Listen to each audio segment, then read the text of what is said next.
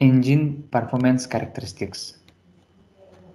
So you might have already studied IC engine, petrol engine, diesel engine in your graduation. So in this particular session, we will study different parameters which affect the performance of an engine. So whenever we are in the market to purchase anything, we have our choices, our preferences. Suppose you want to purchase a mobile phone, you basically look for some people good camera, some people will look for good battery backup, some people will look for good graphics, good processor. So different people have different choices. All the mobile phones in general do not provide all the facilities in one device. For example, some phones will have good battery backup, but it may have bad display quality. Some phones are good for gaming. They have good processor, good graphics, but their battery or their camera may not be up to the satisfactory level. So depending upon your choices, we select whatever device we want to buy. also, we have to keep in mind very important factor is cost. How cost effective it is. Some device will try to fulfill all the needs good camera good battery good processor good graphics good display but the cost will be also be very good it becomes unaffordable for most of the people. So considering all the factors we choose our device which we can afford within our range. So similarly before purchasing any vehicle we need to keep in mind what are the parameters which are important to us what are the parameters we should consider while purchasing our vehicle? So what all it depends on if you are going to use your vehicle daily sometimes or if you're going to use daily how long do you drive? 10 kilometer 20 kilometer or more than that everyday basis? Or you drive once or twice in a week? Or you drive only during weekend to spend some time with family or you are living in a hilly area or you are living in a plain area for hilly area requirement will be a little bit different. For a plain area again requirement is different. So depending upon the various conditions your operating condition environment we have to select our engine. Ultimately you you select your vehicle. So of course now when you are going to purchase a vehicle you also look for other devices like safety features this facility that facility all the gimmicks but the basic and most important parameter we should consider is the performance of engine whether it is going to suit your requirement or not, whether it's going to fulfill all your requirements or not, or at least most of the requirements. So for that purpose, we have to understand the basic parameters which define the engine. So what are those parameters? very simple, very common. Basic two parameters are power and torque. Power is rate of doing work. Torque is the rotational force. So these are the two basic parameters which define the performance of an engine. You might have read about this several times. Torque. It is basically the rotational force. Power. The rate of doing your work is power. How fast you can do. Torque is by how much force you can do that work. Power on the other hand, at what speed you can do that work. apart from these two parameters, the third parameter is your fuel consumption. Again, it is directly related with your economy, your cost. In order to produce this much amount of torque or that much amount of power, how much fuel are you going to use? Because fuel is a running cost. You will be requiring every time you use your vehicle. So india being a developing country the economy of most of the individuals are not very good. So fuel consumption plays a very important role while deciding the choice of vehicle in practical scenario. In ideal scenario we can only consider power and torque. But in real life, fuel economy also plays a very important role while deciding which engine to select. So once you have the knowledge of these three basic parameters, you can somehow decide what engine, which vehicle will suit your requirement. All right. So this is some kind of revision. We have various form of power. In engine we have basically we use the term bhp or bp brake horsepower or simply brake power. That is the power you can see the second one brake power is the power available in the crankshaft. Now, before power coming to the crankshaft, the power is produced during power stroke. In suction, you intake air and fuel. You intake the charge, that means in compression, you compress the charge. After that, we have ignition. So in diesel engine, during ignition we the fuel is also injected in petrol engine. Fuel comes during suction anyway. After ignition power is produced because of combustion. So this power which is produced on the top of the piston is called indicated power.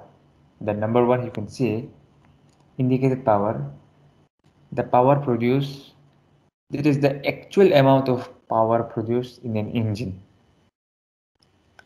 during power stroke.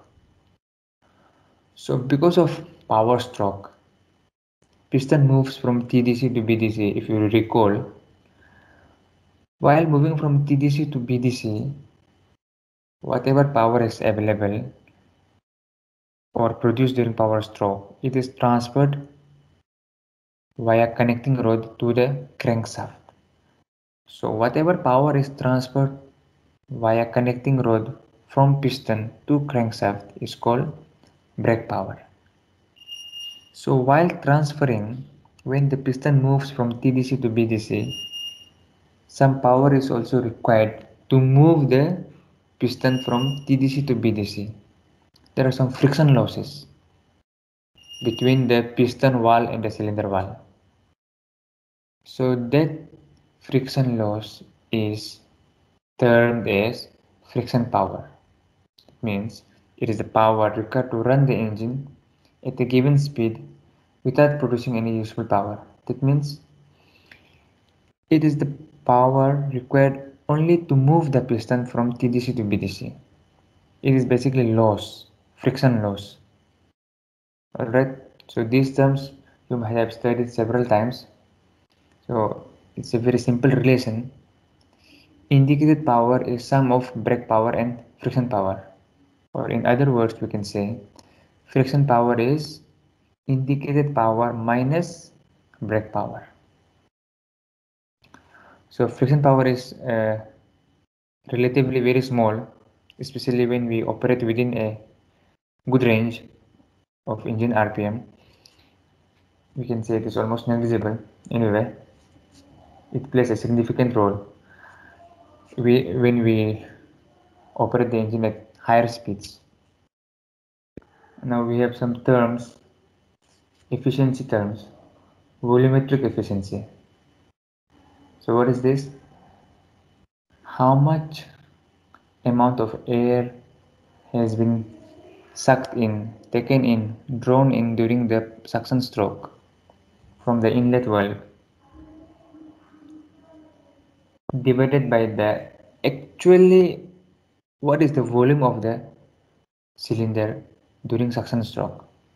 So the ratio between how much air is sucked by what is the actual volume of or the theoretical value of volume of your cylinder during suction stroke at atmospheric temperature and pressure NTP normal temperature and pressure.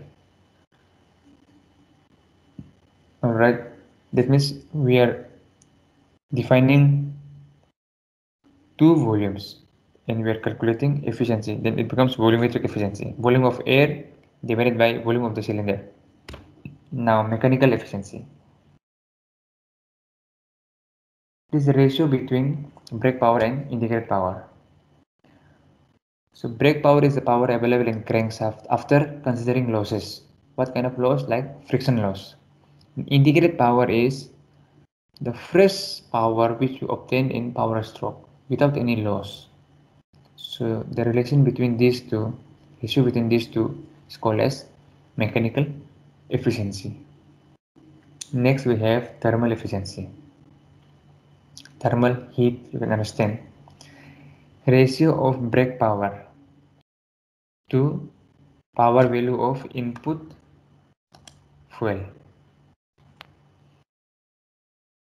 So whatever power is available in the crankshaft divided by power value of input fuel.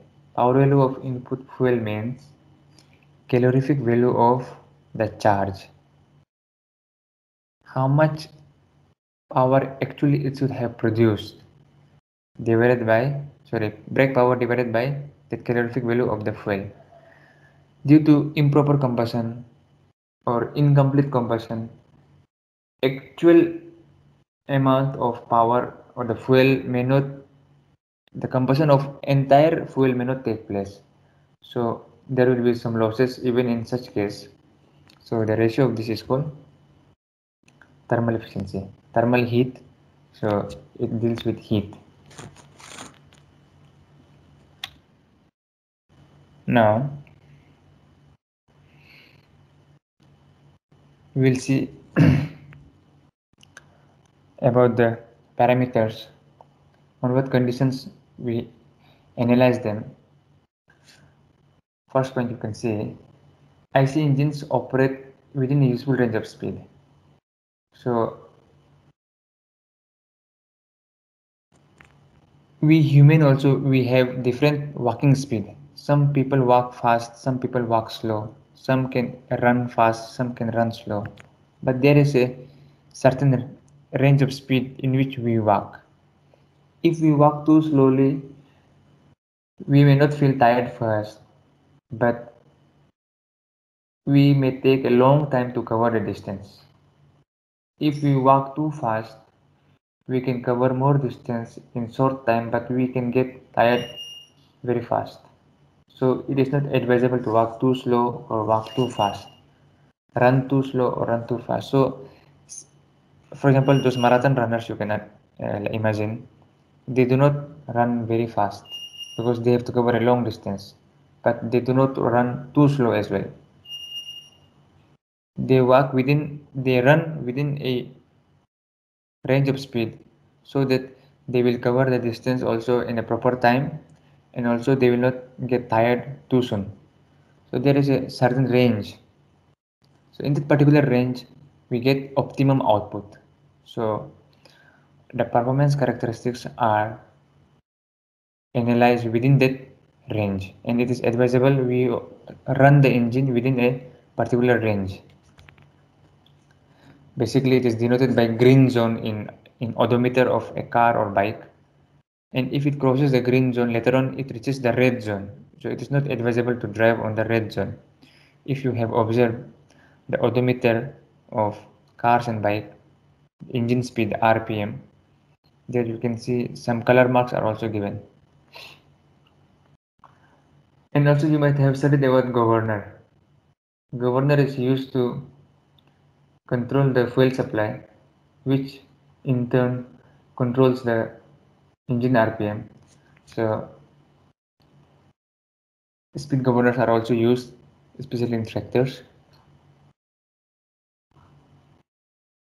Now we have next rated speed. Rated speed is given by the manufacturer of the engine.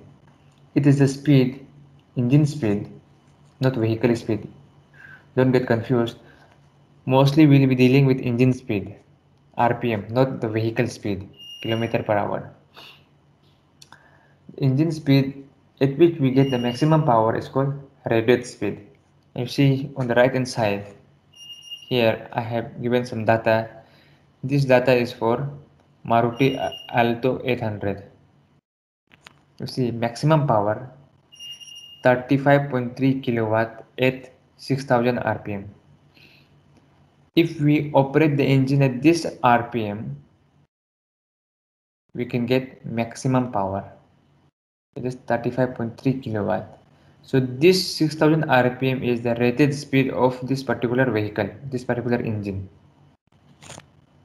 Right so at this 6000 rpm we may not get maximum torque. You see maximum torque 69 newton meter at 3500 rpm is almost half of the engine speed. So we have to keep this in mind. At maximum rated speed we may not get maximum torque. At rated speed we get maximum power. That means maximum torque will occur 3500 rpm much before maximum power occurs at 6000 rpm that means peak torque occurs first and peak power occurs later Power output varies at each engine speed within the usable range and it has a maximum usable value. So of course power is a function of speed, rate of doing work. Rate means again speed. So it will vary at different engine speeds. SFC varies with engine load and speed. SFC is specific fuel consumption. So if you remember specific fuel consumption, normally in our day-to-day -day cars we have uh, when we measure fuel consumption we measure in terms of kilometer per liter. If we use one liter of petrol for example how much kilometer can a car or bike travel? So this is how we calculate the fuel economy of a car but in case of tractors it's a little bit different because tractors they do not travel long distances in the field. In short distance also they can consume uh, like a lot of fuel. So their basic of their basis of fuel economy calculation is specific fuel consumption which means how much amount of fuel is consumed per power output per hour in tractor always remember we do not consider with respect to kilometer we consider with respect to time. Sometimes tractor work stationary for pumping water using its PTO shaft. So in, in such case what will happen? Tractor is not covering any distance. It is standing stationary near the well and pumping out water. So in such case we cannot consider the distance cover. Distance cover is zero. So for such cases we use SFC you see here gram per sp per hour is the unit this gram can also be converted into volume anyway amount of fuel in gram or volume per unit of power developed per hour in one hour to run 1 HP of engine or to produce 1 HP output how much fuel is required Alright, so this is your specific fuel consumption. Now, the performance of engine depends on interrelation among this power, torque, SFC at different engine speeds and load. Load means how much resistance we are giving to the engine. Suppose you are driving uphill, so the engine load will increase. The load in the, on the engine will increase because now you are moving up on a hill. You are moving down, load will decrease. You are adding more people on your car, load will increase. Alright, so this is the resistance which you offer to the engine. So why we run at useful range of speed? Especially why we don't go higher speed because mechanical stresses because of friction overheating again friction engine knocking so if we operate at higher speed improper combustion which may lead to detonation knocking all that so these are factors why we don't uh, increase the speed beyond a certain level. Now see power versus speed torque versus speed SFC versus speed. So these are our basic parameters which we are going to analyze. So based on this analysis you can finally select your machine your engine so this graph also you might be familiar this is a simple graph power and engine speed.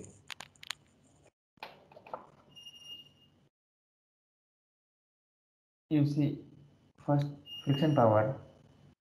When the speed is low, friction power is also low.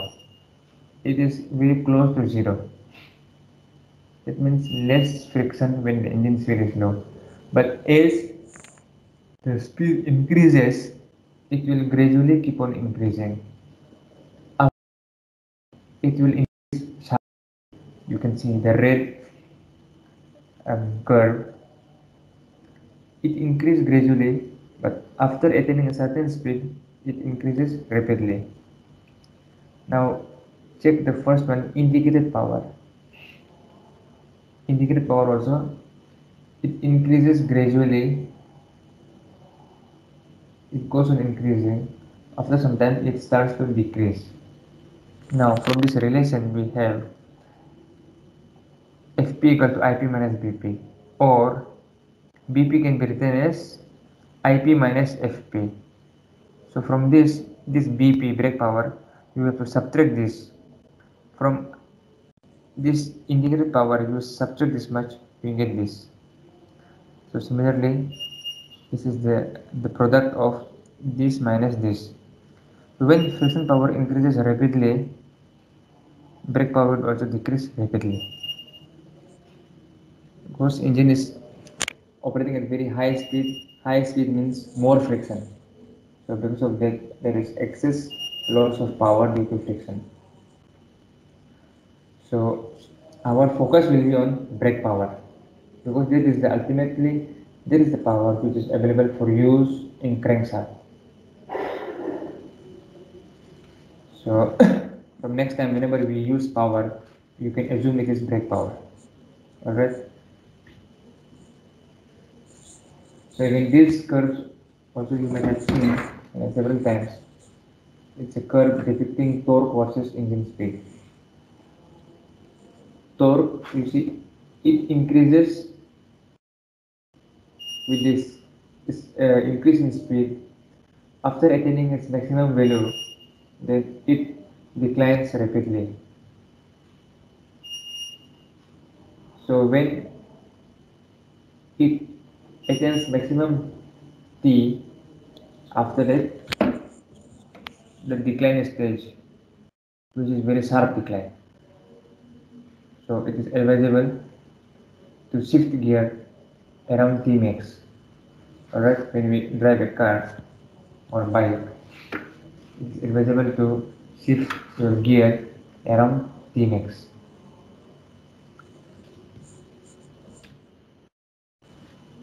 Your SFC is engine speed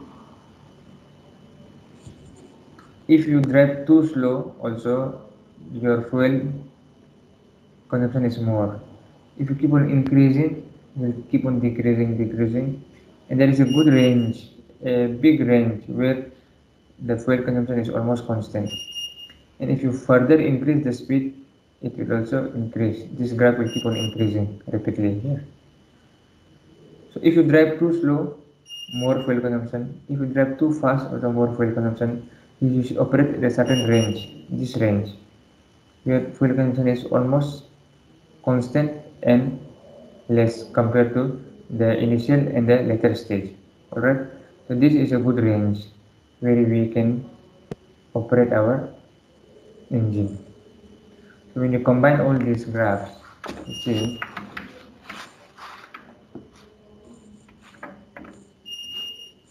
on the left hand side y-axis you can see torque. I written in black pen black color on the right hand side y-axis you can see it is power. Red mark red pen. So in the graph as well you can see the black curve is representing torque. And the right uh, sorry red curve is representing power. So if you see Tmax maximum torque maximum torque at this point rpm let us say this is approximately 1550 rpm that's an approximation. What is the maximum torque? Here. Maybe around 110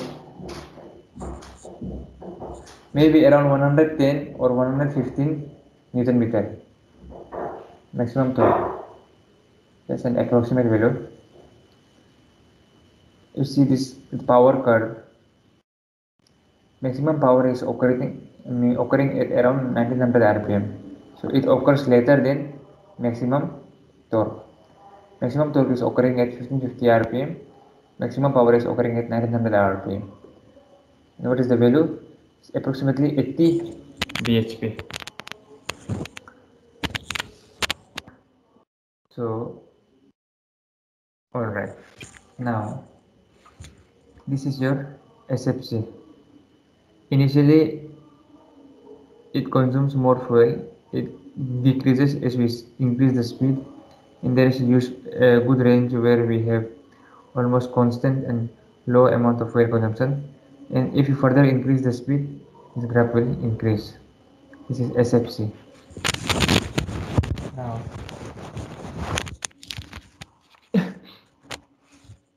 this the speed at which we get maximum power Pmax and the speed at which we get maximum torque Tmax difference between these two speeds is called reserve speed.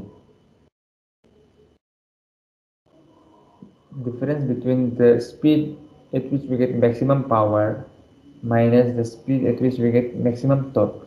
This difference is called reserve speed. All right and difference between maximum torque this comes around 115 115 and the torque at maximum power. The speed at maximum power. Let us see. At this speed we get maximum power. So this speed will be our rated speed. Is the rate. Because at rated speed we get maximum power. Here this is rated speed we are getting maximum power. So at this speed what is the torque? If we just extend this line we get here this. This is the value of torque. This is little more than 90 maybe 95 92 so difference between this maximum torque and the torque at rated speed in which we get Pmax this difference is called reserve torque.